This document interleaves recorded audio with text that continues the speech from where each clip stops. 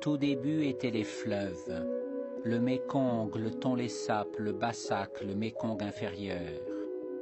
Leur crue, grossie de la fonte des lointains glaciers de l'Himalaya et du retour régulier des moussons, alimente le va-et-vient d'une vaste mer intérieure, qui nourrit la prolifération des poissons avec la richesse des alluvions et permet des pêches miraculeuses lorsque les eaux se retirent.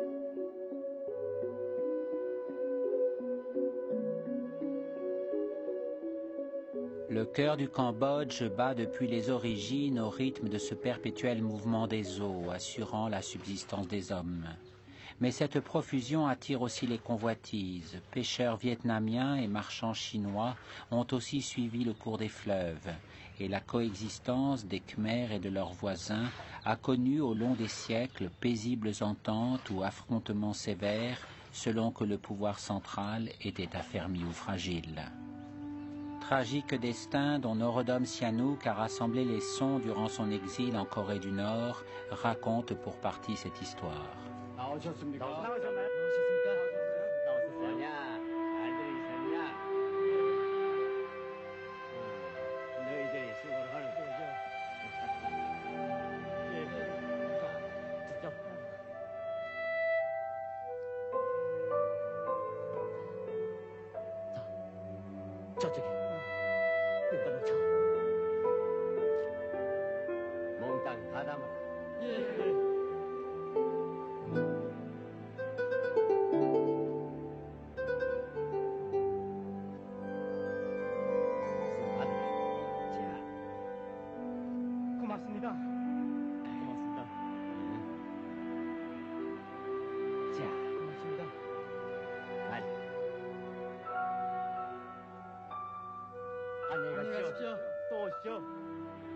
Bien des pêcheurs redeviennent paysans lorsque le grand lac achève de dégorger ses eaux. Tout un réseau de canaux et de digues leur permet alors d'irriguer les rizières, où s'est déposé le limon charrié par les crues. La plupart sont de petits propriétaires qui améliorent leur ordinaire du produit des palmiers à sucre qui délimitent les lopins de chacun.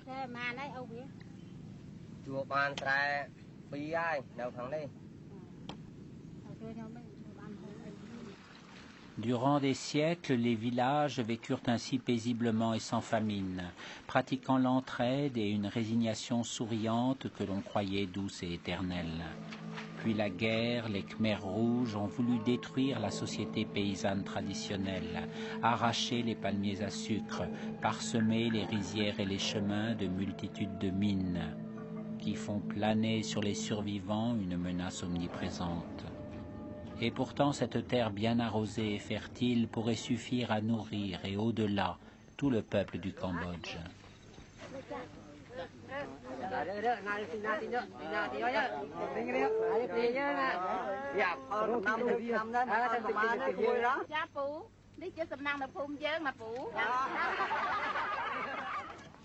Cependant, les interminables années du malheur n'ont pu déraciner les habitudes et les coutumes de la civilisation paysanne d'autrefois.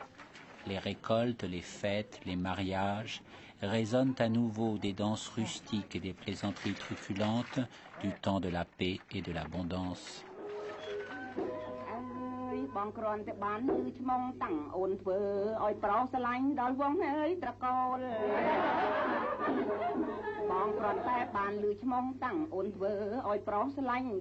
ត្រកូលបងបានលឺច្បាស់ឈ្មោះនាងថ្លើមអាយល់ពលប្រាប់ថាបងសូបដូបដៃជីហើយវត្តហើយគ្រប់អីមិនទេប្រូនេះខុសគេចង់ស្រីមិនណាគិតអត់ មិនម្លេះទេប្រុសនេះខុសគេចង់ស្រីមិនគិតអួតខ្លួនថាមកបដូរផ្នែកជីវិតផ្នែកឡាយមិនគិតឲ្យត្រឹមត្រូវ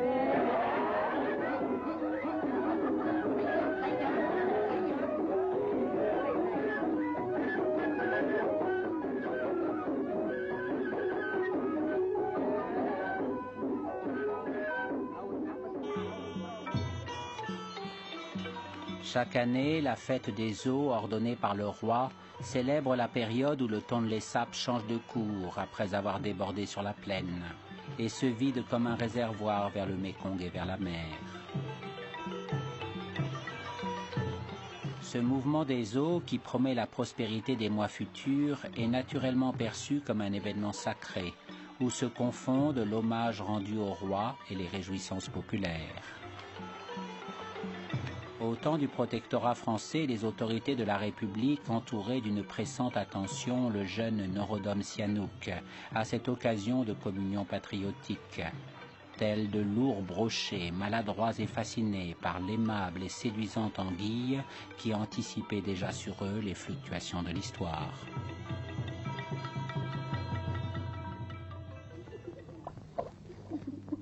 Mais l'eau n'apporte pas seulement l'abondance, elle imprègne de sensualité et de plaisir les amusements où plonge une jeunesse dénuée de nos maussades culpabilités occidentales. Bain de nuit pour film tendre et Onissois qui mal y pense.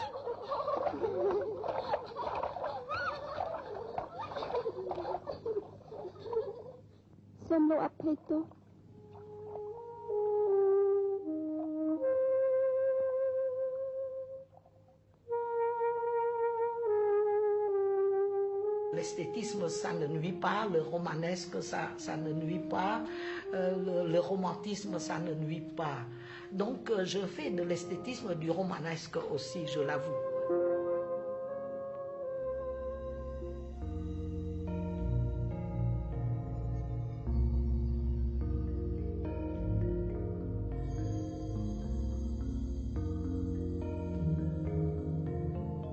Petit peuple innocent qui se crut si longtemps béni de ses dieux qui lui donnèrent l'eau et la terre à profusion, les Khmers leur ont toujours témoigné révérence et gratitude. Le bouddhisme, en sa profonde tolérance accueillant les vestiges de religions anciennes, est inscrit au plus profond de la civilisation khmer. Il a longtemps maîtrisé les pulsions de violence et de désespoir que pouvaient faire surgir les ambitions de voisins trop avides ou les querelles entre puissants oublieux de leurs devoirs.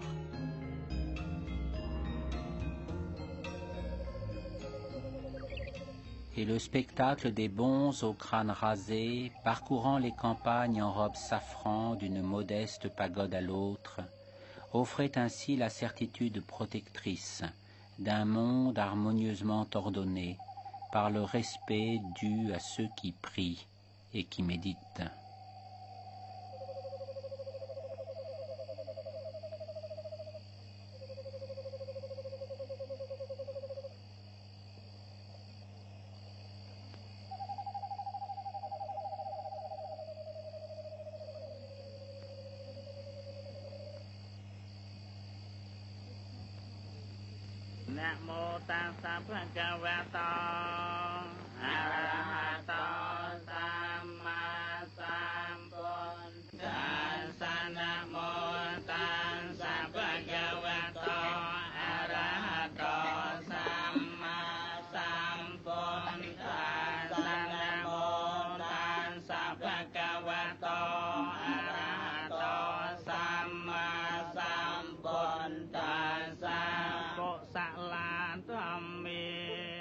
Dans ce domaine, comme dans bien d'autres, les Khmers rouges ont tenté d'apporter la destruction et la mort, massacrant les bons et détruisant les pagodes.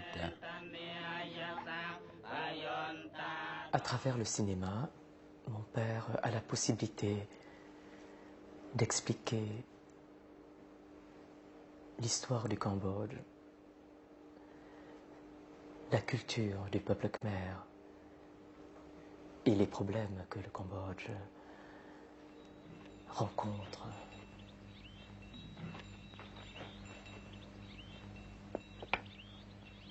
សូមបដិប្រគុណជ្រាបលោកស្រីសាំងអឹមបានផ្ញើសារមកខ្ញុំផ្ករណា ថាសូមសន្ទនានឹងខ្ញុំផ្ករណា ក្នុងពេលនេះ នៅវត្តព្រះអង្គ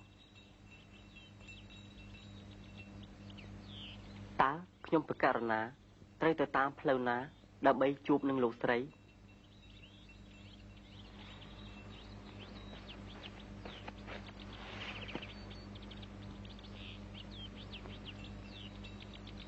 ក្មេងនេះវិជាសាស្ត្រអាត្មាភាពនាំដង្ហែព្រះអង្គទៅជួបនឹងលោកស្រី អរគុណម្ចាស់ថ្លៃព្រះអង្គសូមព្រះអង្គយើងតាមទូព្រះបង្គំ Il était tellement content, détendu euh, quand il jouait. Euh, un moment, il s'est retrouvé devant la caméra et après, derrière la caméra, en visionnant les prises de vue. Non, non, il était vraiment dans son élément, il était très content. D'après lui, c'est aussi une façon de servir le peuple.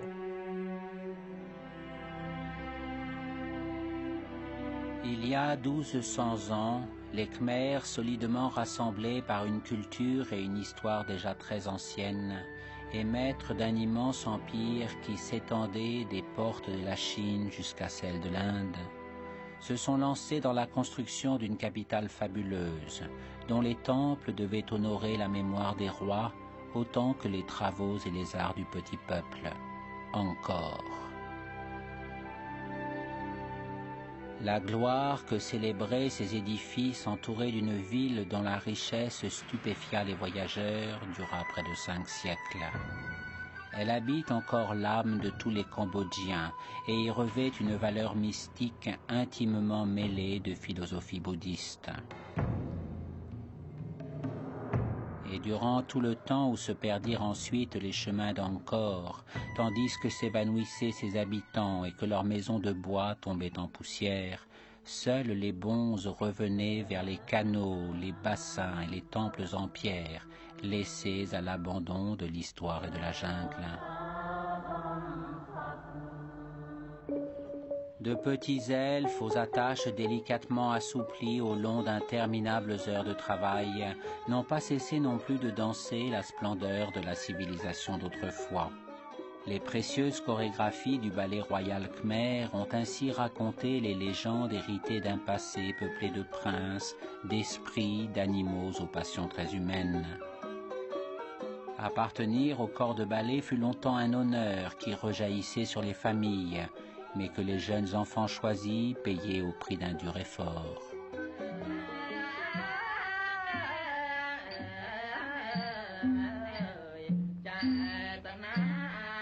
Les Khmers rouges en ont pris prétexte pour tuer les professeurs et disperser le souvenir de leur enseignement. Cependant, la princesse Bopa Devi, fille aînée du roi Sihanouk et étoile incontestée du ballet, dont elle a longtemps incarné la grâce devant la caméra de son père, avait gardé toute la mémoire des gestes qu'une infime poignée de survivants n'osait plus transmettre.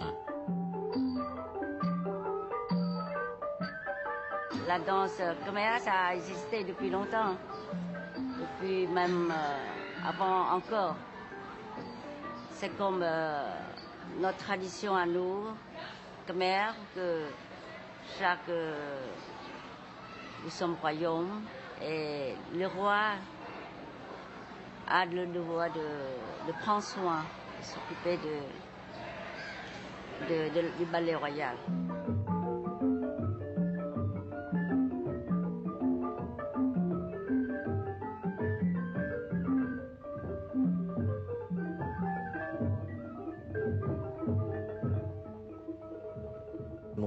Demandait toujours euh, les conseils de ma sœur en ce qui concerne la chorégraphie et les mouvements des danses classiques mères. Bien sûr, pour les plans, pour euh, les prises de vue, c'est mon père qui, euh, dirige et qui, choisit. Mais en ce qui concerne l'efficacité et l'importance des mouvements qu'on doit apercevoir, c'est toujours ma sœur qui conseille à son père. Trésor vivant de l'art khmer, le ballet royal n'était pas ce temple de la réaction que les Khmers rouges dénoncèrent dans le sang, mais au contraire le refuge d'expressions ancestrales, comme l'attestent les figures consignées par la princesse et filmées par son père.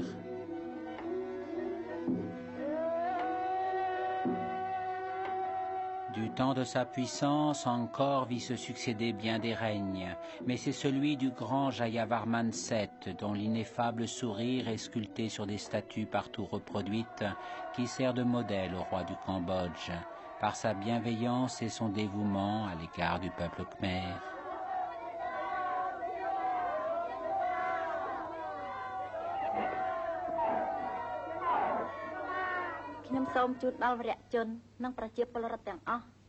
ដល់វរៈជននិងប្រជាពលរដ្ឋទាំងអស់ដែលស្មោះត្រង់ចំពោះខ្ញុំនិងរដ្ឋនៅកតញ្ញូតាធម៌ដ៏ជ្រាលជ្រៅជាបំផុត ហើយខ្ញុំសូមបូជាកម្លាំងសម្បត្តិនិងជីវិតរបស់ខ្ញុំជូនមាតុភូមិនិងរាជដែលខ្ញុំនឹងខិតខំបម្រើធានាការពារនិងគាំពៀតទៅទៀតរហូតអវសាន C'est surtout le peuple khmer qui est mis en valeur dans ce film.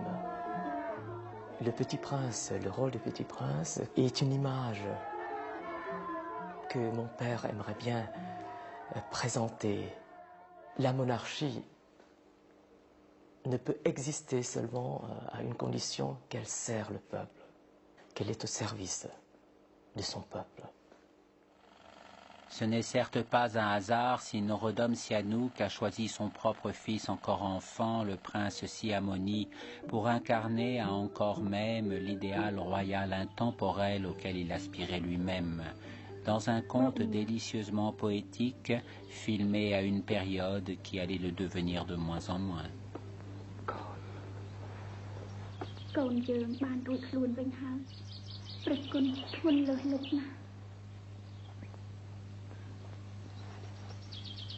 ចូលពូមីងនិងនាងអញចេញទៅផ្ទះសម្បែងវិញចុះឲ្យបានសុខសាន្តខ្ញុំសូមជូនដំណើរទៅផងដែរ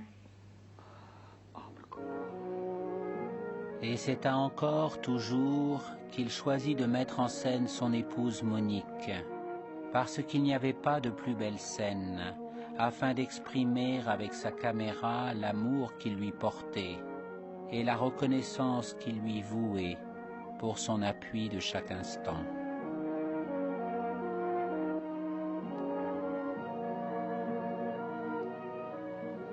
អ្នកប្រាជ្ញឥណ្ឌាគេបានសរសេរថា ប្រាសាទនិងវិហាររបស់ខ្មែរសិតសឹងជាសមិទ្ធិចម្លងពីប្រាសាទនិងវិហារក្លឹងគឺពុំមានសភាពខុសប្លែកអំពីវិមានសេឡាឬរ៉ាណា នៃប្រទេសឥណ្ឌាទេ តាមដែលខ្ញុំបានសង្កេតមើលប្រហែលថ្ងៃនេះហើយឃើញថាពិតមែនតែអរិយធម៌របស់ខ្មែរបានក្រេបជញ្ជក់នៅរសជាតិនៃអរិយធម៌ឥណ្ឌាក៏ប៉ុន្តែ ខ្មែរចេះបង្កើតនៅទ្រង់ទ្រាយនិងក្បាច់ក្បូរដែលមានលក្ខណៈ original ណា Elle n'a pas voulu. Au début, elle a longtemps refusé de jouer dans les films de mon père. Elle s'occupait de la Croix-Rouge, elle s'occupait beaucoup de choses, euh, des affaires humanitaires. Pour jouer, c'était très difficile de la convaincre.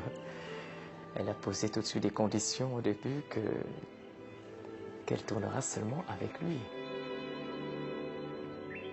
Elle a fait surtout pour mon père, surtout pour mon père, pour lui faire plaisir. Pense que c'est surtout par amour qu'elle a accepté de, de jouer. Oui, ils étaient encore alors si jeunes l'un et l'autre, bravant sans malice les critiques qui leur reprochaient de confondre leur amour, celui de leur pays et celui du cinéma. Quand j'étais jeune, je voulais être euh, Clark Gable, je voulais être euh, Robert Montgomery, euh, etc. On dit que ma femme est très douée, mais moi, en tant qu'acteur, je ne suis pas doué. En entraînant celle qui est aujourd'hui la reine Monique parmi les statues monumentales d'Angkor, Norodom Sihanouk transmettait aussi un message dont leurs ennemis ne tarderaient pas à leur tenir grief, après l'avoir amèrement compris. Nous sommes l'un et l'autre décidés à protéger l'héritage khmer contre ceux qui voudraient l'avilir. មុខនេះ ជាប្រភពព្រះពោធិសត្វព្រះនាមអាវាលោកិតស្វារា ដែលជានិមិត្តរូបនៃមហិទ្ធិឫទ្ធិរបស់រាជបល្ល័ង្កតែព្រះភ័ក្ត្រព្រះពោធិសត្វនេះទៀតតាមការពិត ជាព្រះភ័ក្ត្រនៃព្រះបាទរាយារ៉ូម៉ាន់ទី7នោះឯងដែលលោកតតឆ្ពោះទៅទិសទាំង4គឺលោករងចាំការពារជាតិមាតុប្រទេសនិងរាជ កុំឲ្យមានសត្រូវមកយាយីបៀតបៀនបានឡើយទោះបីវាចេញមកពីទិសណាក្តី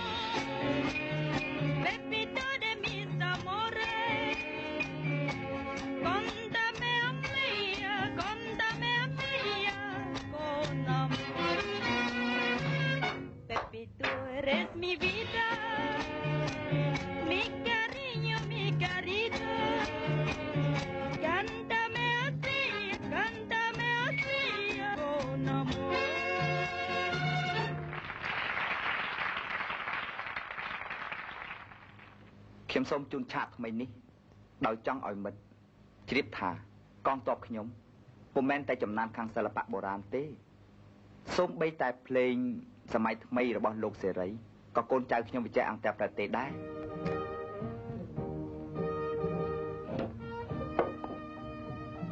អាយុដំ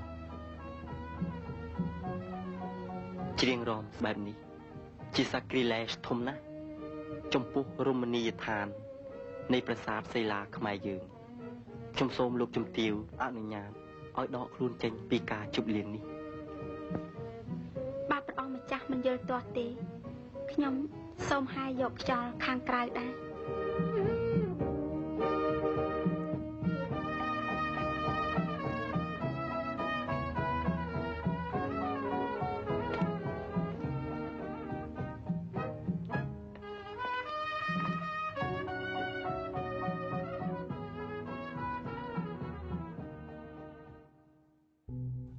Pas très bien au juste quand s'éteignit tout à fait la puissance d'Angkor, minée par l'une des inéluctables phases de déclin qui frappent tous les empires, et ravagée par les attaques et les pillages des armées de princes siamois. Ni à quel moment la forêt se referma sur les statues, laissant les derniers habitants livrés à eux-mêmes, et ramenés à la condition de pauvres chasseurs. Tandis que s'égaraient les éléphants désormais à demi sauvages des cortèges royaux évanouis. Mais on relate que des dissensions meurtrières dans la famille royale aggravèrent les intrigues des anciens vassaux devenus rebelles. 저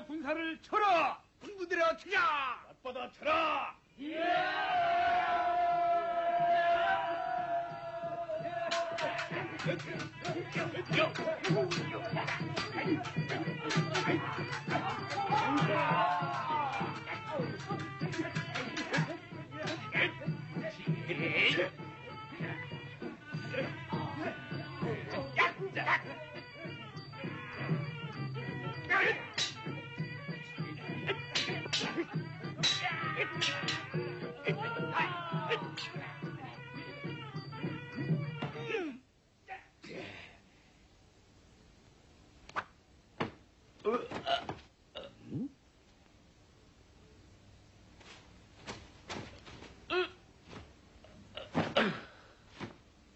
녀석은 죽어 마땅하다.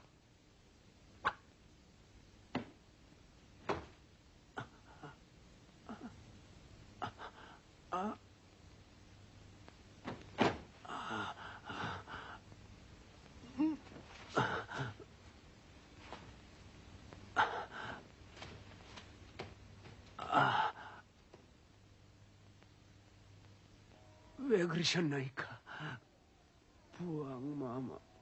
용서하옵소서.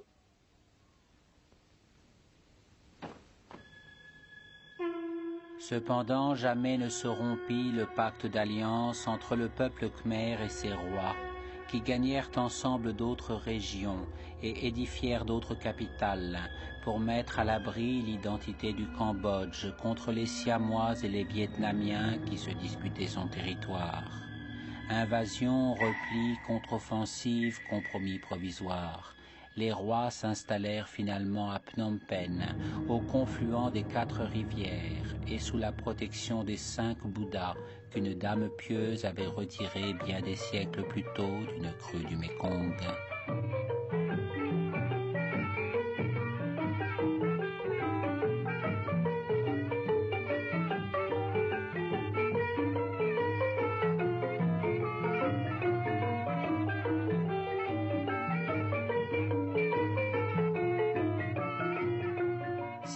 Les Français qui s'étaient emparés de Saïgon s'avancèrent jusqu'à eux après avoir remonté le Mékong inférieur, avides de les dominer, mais bientôt trop émerveillés par la splendeur préservée de leurs traditions et de leurs rites pour oser y porter une atteinte sans recours. Un autre compromis que les protecteurs s'illusionnèrent de croire définitif et que les protégés, instruits par leur longue survie, considérèrent doucement en le sachant fatalement éphémère.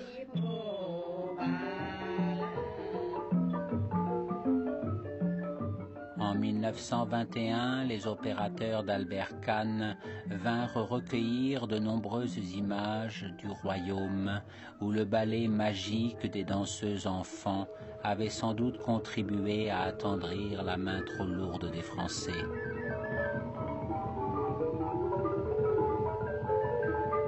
C'est quelques mois plus tard que naquit aussi le roi Norodom Sihanouk.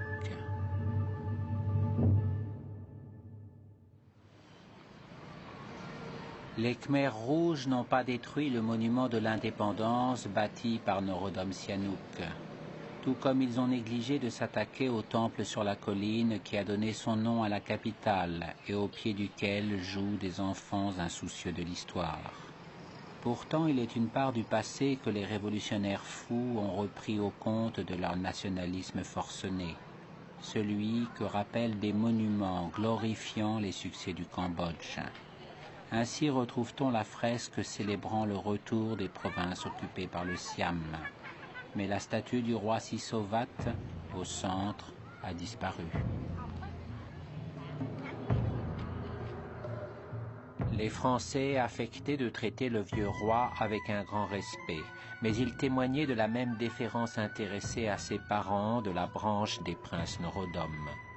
En somme, le premier acte politique du roi Sihanouk fut simplement de naître, apaisant la sourde rivalité familiale, puisqu'il était si sauvate par sa mère et Norodom par son père.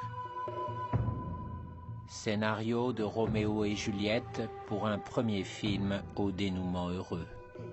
De vrais artistes, euh, en tant que musiciens, musiciennes.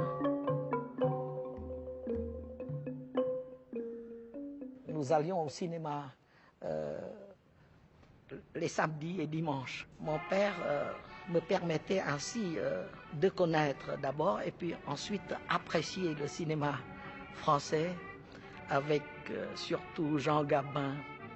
Euh, C'était son artiste préféré, Pierre Freinet, euh, Marlène Dietrich,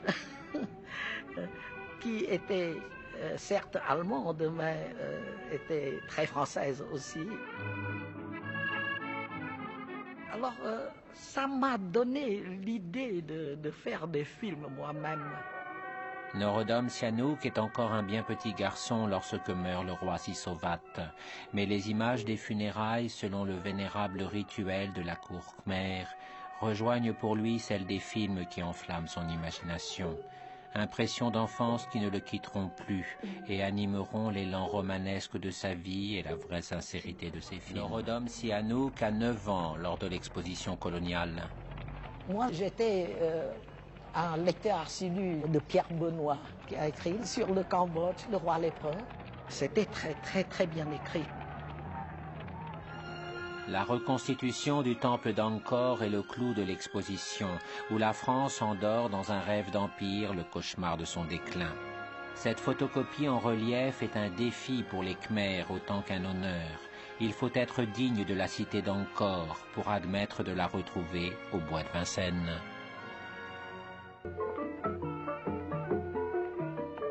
Pouvais faire des films en 16 mm. Je n'aimais pas le 8. Je ne voulais rien de, de petit.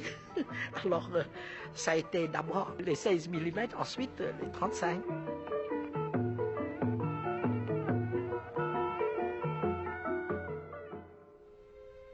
En 1941 meurt le roi Monivong, grand-père maternel du jeune lycéen Norodom Sihanouk, qui lui rendait souvent visite et l'observait en silence quand il signait sans le lire le courrier préparé par les Français.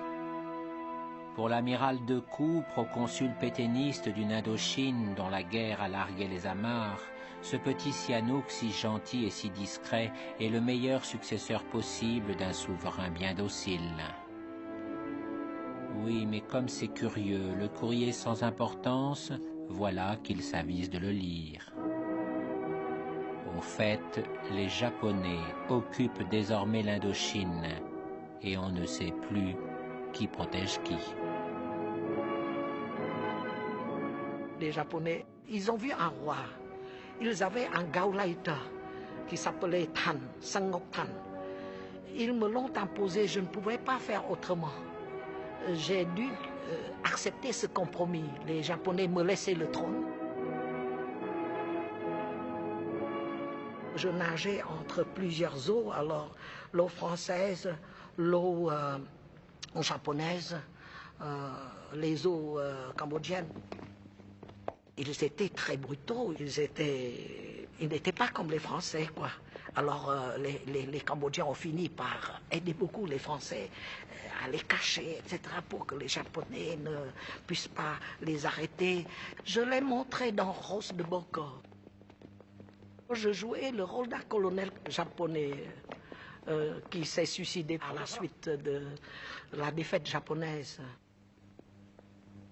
j'avais écrit ce scénario pour ma femme.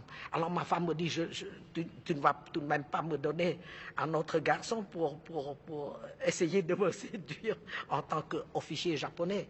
Alors j'ai dû mettre, euh, non, pas avec joie, mais c'était obligatoire, euh, l'uniforme japonais pour, pour que euh, ma femme accepta de jouer. En fait, la romance des souvenirs au filtre du cinéma était dans la réalité un sombre guépier. Les Japonais avaient proclamé l'indépendance avant de perdre la guerre, et il n'était pas question de redevenir simple locataire d'un trône que les anciens propriétaires risquaient de réclamer. La France revient, nous l'accueillons amicalement, mais nous lui demandons de nous traiter d'égal à égal, c'est-à-dire euh, en tant que deux pays souverains qui s'aiment, qui s'aiment. Paris accueille un souverain ami venu de son lointain royaume asiatique. À la gare de Lyon, le roi du Cambodge, Sihanouk, est reçu par M. Marius Moutet, ministre de la France d'Outre-mer. À l'Arc de Triomphe, le roi dépose une gerbe sur la tombe du soldat inconnu. Hommage émouvant rendu à la puissance protectrice par un souverain jeune et moderne, fidèle au pacte de l'Union française. Et c'est avec une émotion et une gravité visible que le roi du Cambodge signe le livre d'or qui compte déjà tant de noms illustres. Nous avons pu acquérir l'indépendance totale sans verser une goutte de sang. Ça a été par les négociations et dans l'amitié, dans l'amitié et dans la confiance réciproque. Et depuis lors, nous avons toujours un long, long et interminable honeymoon. Entre le Vietnam levé contre eux dans une guerre révolutionnaire implacable et le Cambodge de Sihanouk qui leur tenait le langage subtil d'une crise ministérielle, les hommes de la quatrième République auraient eu bien tort d'hésiter. Va pour l'indépendance d'Angkor, jumelé avec les châteaux de. Il ne faut pas politiser le rôle du roi. Euh, le roi règne mais ne gouverne pas, donc euh, je descends. Euh, dans l'arène politique et c'est mon père qui me remplace ici. L'avènement du roi sur Amarite répare une injustice qui avait décidé du destin de Sihanouk mais dont il n'était pas responsable. Son couronnement offre à celui qui est redevenu prince l'opportunité de mettre en scène cette monarchie en l'arrangeant comme un trésor à ne pas abîmer. L'honneur partagé par sa mère scelle la réconciliation complète de la famille royale. Justice, spectacle, habileté, affection, tout Sihanouk est dans cette volte-face stupéfiante de l'histoire qui assure sa liberté de manœuvre. Dans la famille royale cambodgienne, il y a toujours l'exception qui confirme la règle. Moi, je suis le seul gauchiste dans, dans, dans ma famille. Et rien de tel qu'un film tourné au Palais Royal, transformé en plateau de cinéma pour bien enfoncer le clou. Voici le bras rouge qui arrive.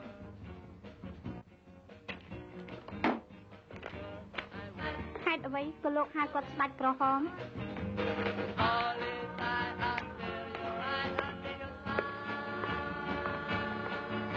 ប្រម្ចាស់ដាននារីលោកមិនស្រឡាញ់ពួកយើងទេលោកត្រូវជើងតែនឹងទូតក្រហម J'ai une fascination pour euh, l'anti-impérialisme, pour euh, ce qu'on appelait le progressisme. Ce n'est pas toujours le progrès d'ailleurs.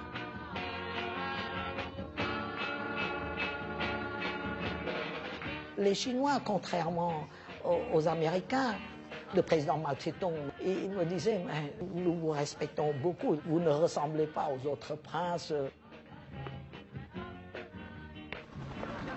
Et ainsi vole gaiement le prince Norodom Sihanouk sur le panorama plein de promesses des années 60, porté par les vents de l'émancipation des peuples, et se pose-t-il comme un messager du ciel parmi les délirantes manifestations d'affection des siens? Son inépuisable vitalité son perpétuel enthousiasme en font le seul recours de tous ceux qui avaient jusqu'alors toujours eu peur du pouvoir. Oh, bien sûr, les Occidentaux le traitent de démagogue aventureux. Les étudiants khmers qu'il envoie à Paris et en reviennent communistes le dénoncent comme un féodal paternaliste. Peut-être, mais alors pourquoi ces foules partout sur le passage de Monseigneur Papa? J'étais arrivé quand même à faire de mon peuple un, un peuple heureux, en paix, prospère. Norodom Sihanouk sait que le temps travaille contre la paix. Il refuse que ce soit aussi contre lui qui entend la défendre. Il n'a jamais lu Marx, mais il voit bien que la société khmer d'autrefois est en train de disparaître sous l'impact des idées nouvelles, parce qu'elle n'était pas aussi idyllique qu'il aurait voulu le croire, et parce que les paysans sont allés aux écoles qu'il a fait construire. Vite, vite, foncez vers un nouveau monde encore indéfini, mais qui serait chaleureux sans être communiste, solidaire sans être révolutionnaire, patriote sans faire de guerre, et réussir cette utopie en diffusant ces images comme autant de preuves, avant que le Hanoï d'Ho Chi Minh et le Saigon de la CIA n'imposent les leurs.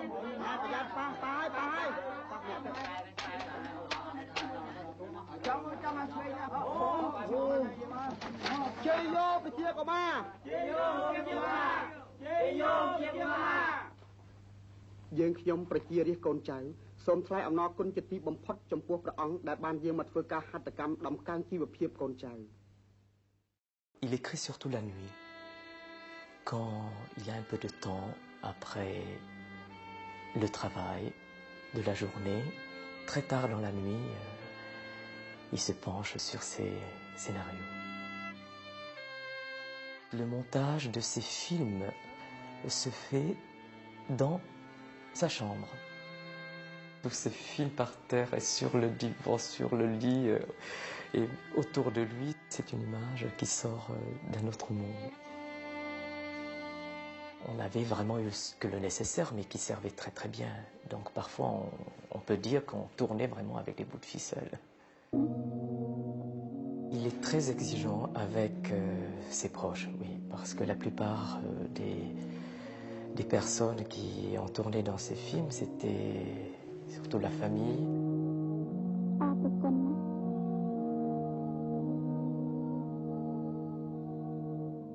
Ma mère ne se mêle jamais de la préparation du film, ni du tournage, ni du résultat. Elle attend tout simplement à voir euh, le film une fois fini. Si mon père lui demande son avis, elle lui donne. Sinon, elle ne fait que regarder et sourire.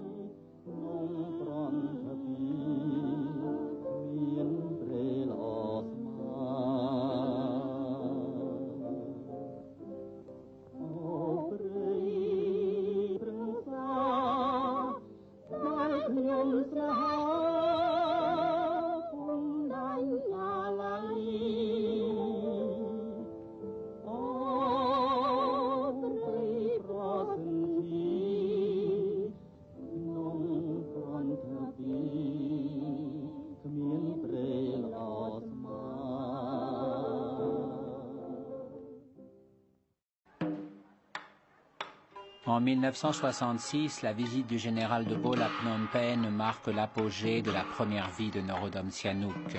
L'hôte prestigieux conforte aux yeux du monde sa politique anti-impérialiste et neutraliste, alors que la guerre du Vietnam fait rage aux frontières.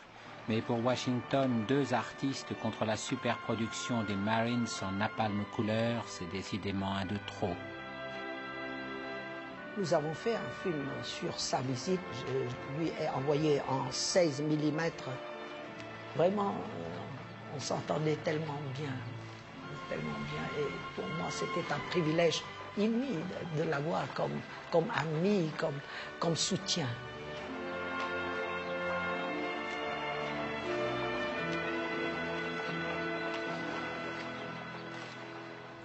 Vraiment, vous savez mon cœur battait, n'est-ce pas? Euh, euh, De Gaulle, c'était mon idole. Et euh, de l'avoir ici sous mon toit, c'est un rêve inouï qui s'est réalisé.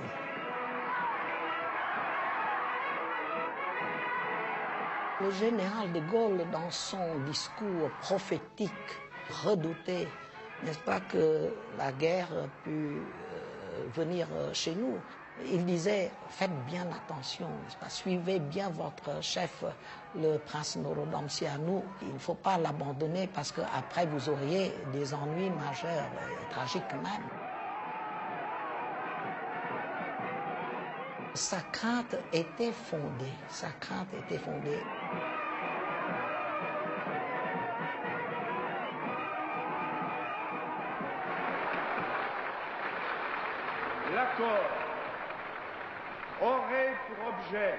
D'établir et de garantir la neutralité des peuples de l'Indochine et leur droit de disposer d'eux-mêmes tels qu'ils sont effectivement. Les forces armées cambodgiennes suffisent largement à un pays en paix, ce qui ne veut pas dire qu'elles se satisfassent d'être mobilisées pour les tournages. Sihanouk croit leur rendre hommage en endossant l'uniforme, mais elle regarde déjà un autre film en version américaine. J'étais tellement occupé que je délaissais mon armée. Et ça, c'est très dangereux. Euh, euh, de délaisser son armée, c'est-à-dire je l'utilisais pour euh, l'édification nationale, mais euh, j'ignorais euh, naïvement ses aspirations à être une armée forte. C'est ainsi qu'Ombre sur Encore raconte un complot qui a échoué et en préfigure un autre qui réussira bientôt. Nous avons reçu six usines de Malchetung, mais pour, pour les militaires, ça, ça ne valait rien. Mais c'était les millions de dollars qu'ils recevaient qui vraiment étaient des mannes célestes. Ils n'ont pas pardonné ça. Je pensais que ces gens-là craindraient le peuple. Ils, n'ont pas craint le peuple, et c'est ça mon erreur aussi. La CIA a continué à travailler au corps tous ceux qui pourraient lutter contre moi. On reçut encore, c'est un peu romancé, mais la toile de fond est parfaitement historique. C'était un complot euh, fomenté par la CIA pour euh, déjà euh, permettre à un traître qui avait ma confiance, qui détacherait de la monarchie cambodgienne de province pour en faire une république alliée de l'oncle Sam. ចូលឯងច្រៀងបទអ្វីមួយដើម្បីកែសេចក្តីអបសុខបង Ainsi, l'acteur célèbre que les Khmers rouges assassineront compose une formidable figure de traître ténébreux dont la superstition annonce celle de Lon Nol, premier ministre félon et prochain tombeur de Sihanouk.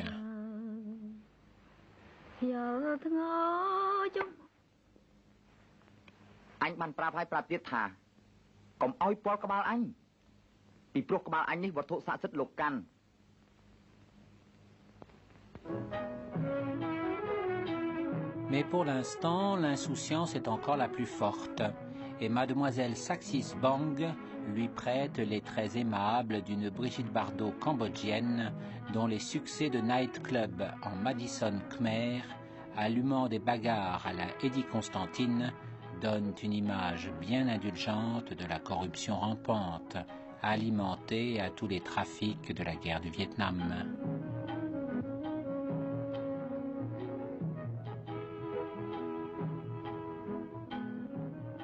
Je n'ai jamais été corrompu, mais je ne pouvais pas euh, balayer euh, la corruption euh, jusqu'à la faire disparaître à 100%, je ne pouvais pas.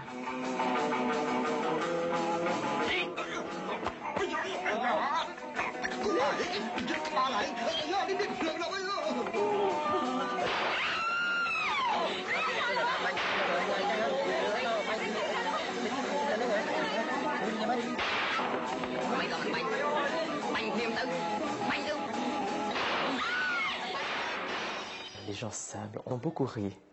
Ils ont compris. Et après euh, la projection du film, euh, souvent les spectateurs disent que enfin, enfin quelqu'un a osé montrer euh, les défauts de nos citoyens riches et aisés. Fini de rire, le brasier du Vietnam lèche désormais le pouvoir de Norodom Sihanouk. Américains et Vietnamiens du Sud poursuivent en pays khmer les maquis Viet Cong qui s'en servent comme base arrière, tandis qu'à Phnom Penh, les officiers calculent leurs futurs galons en dollars. Les Américains ont voulu vraiment se débarrasser de moi. Et euh, ils n'aimaient pas ma politique qui consistait aussi à être très très ami avec euh, les Chinois communistes, avec les Vietnamiens communistes. C'est ainsi que euh, les Américains sont intervenus. C'était comme autant d'éléphants dans un magasin de porcelaine, ils ont tout cassé et le résultat, nous le connaissons. C'est le crépuscule de, de Sihanouk, quoi. En tant que chef d'État du Cambodge, chef d'État tout puissant, un crépuscule.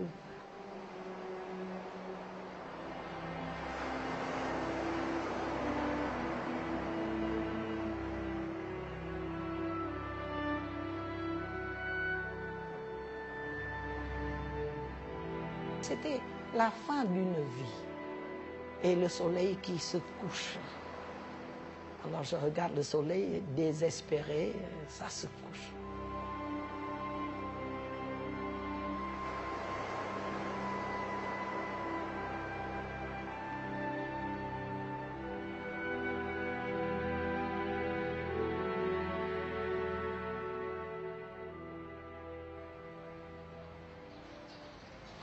Renversant Sihanouk, la République pro-américaine de Lon Nol plongeait le Cambodge dans la guerre et ouvrait le chemin à la victoire des Khmers rouges, tortionnaires hallucinés de leur propre peuple.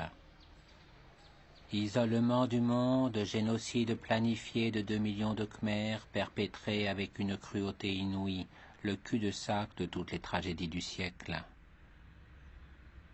Au temps des maquis, les Khmers rouges ont été soutenus par les Chinois et Sihanouk, qui pensait que ça serait dur, mais tout l'était alors en Indochine. On n'a pas vu venir la folie, dont les enfants suppliciés de Phnom Penh portent l'horreur dans le regard. Ici restent les photos, un peu plus loin les ossements rassemblés comme une montagne. Pour les cris, personne ne sait. Gémir sous la torture, c'était la mort tout de suite. On a tout de même l'impression de les entendre. Tous ont certainement pensé avant de mourir que monseigneur papa les avait trompés, et il doit bien y en avoir eu pour le maudire, ceux qu'il avait le plus aimé peut-être. Comment expliquer à ceux qui ne le sauront jamais que la tragédie du Cambodge au fond n'intéressait personne et que monseigneur papa ne les a jamais abandonnés? Je souhaitais qu'ils puissent refaire des films, mais je ne croyais pas vraiment.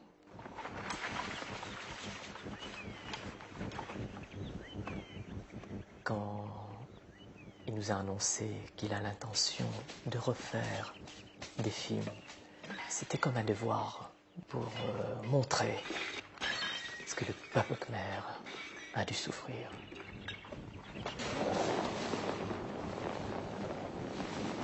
Je pense que l'histoire du Cambodge des dernières années ne lui donne pas l'occasion de refaire des comédies.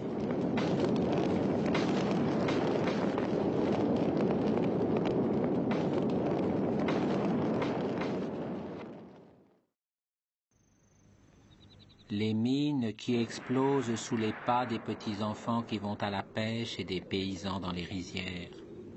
Les jeunes gens abusés par les Khmers rouges qui les rejoignent dans leur bastion des montagnes et deviennent complices de leurs crimes. Les expatriés dont le devoir est de revenir.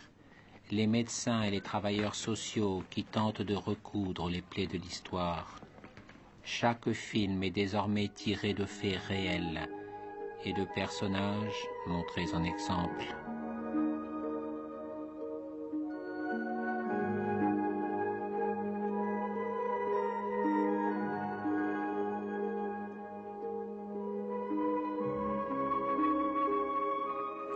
Derniers films sont plus douloureux, car les événements sont plus douloureux.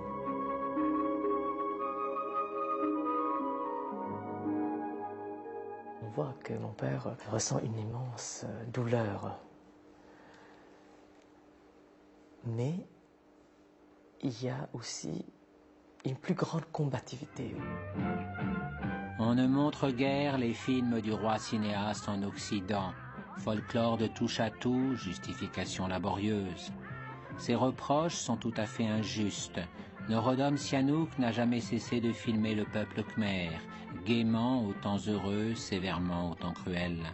Parfois dans un mirage trop rapide où il se voyait jouant les premiers rôles, mais sans se moquer de quiconque si ce n'est un peu de lui-même, sachant raconter, émouvoir et faire rire, avec tant de tendresse et d'indulgence pour le scénario toujours recommencé de son cher petit peuple.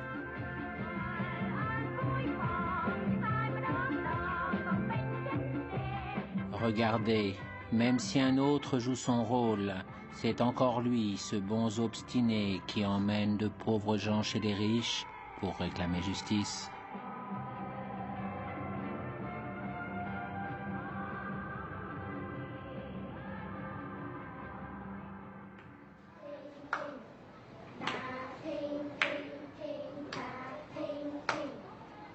Phnom Penh, aujourd'hui, sous l'œil d'une des rares professeurs ayant survécu au Khmer Rouge, les petites danseuses du ballet royal apprennent à nouveau les figures délicates d'un art dont l'histoire se confond avec celle du Cambodge.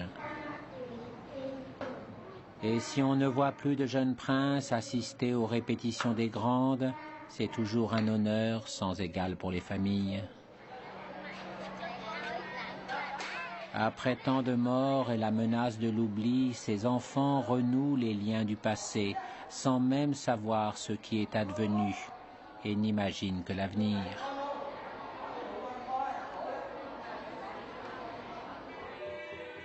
La princesse Bopa Devi trouve en ce renouveau un réconfort après la disparition du monde d'autrefois et la mort de plusieurs de ses frères et sœurs assassinés sous Pol Pot. Ainsi le ballet royal où des jeunes filles reprennent les gestes qu'elle accomplissait pour les films de son père est aussi sa promesse de futur.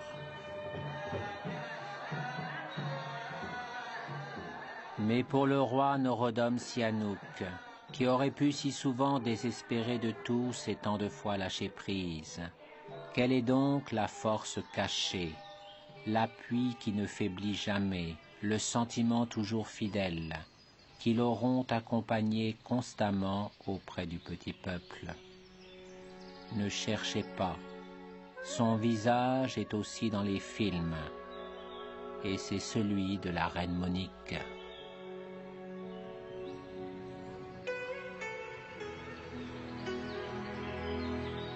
Pendant les années 76 à 79, lorsque nous étions les prisonniers de Pol Pot, ce terrain était devenu un champ de bananes.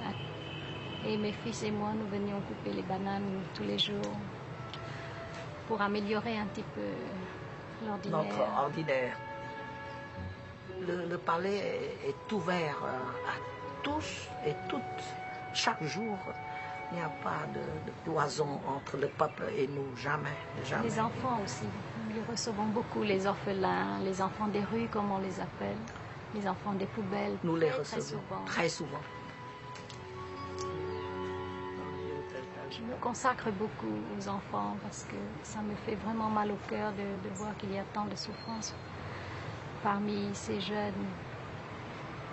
Mais le gouvernement aussi fait tout son possible et nous, le roi et moi, nous faisons aussi tout notre possible pour euh, les aider à devenir de, De bons citoyens, de bons plus citoyens tard. plus tard et à avoir quand même une vie digne. Mais c'est dur quand même. 45 ans d'une tendresse qui n'a jamais hésité à le suivre, du palais de Phnom Penh à la piste Ho Chi Minh, en passant par l'exil en Chine ou à Pyongyang. Au cinéma du roi cinéaste, le plus beau rôle est tenu par la reine qui ne veut plus faire de film. Le peuple, euh, Nous avons l'habitude on, d'être on s'aimait, on s'aime toujours beaucoup. C'est beaucoup plus important que cet endroit, qui est pourtant très beau.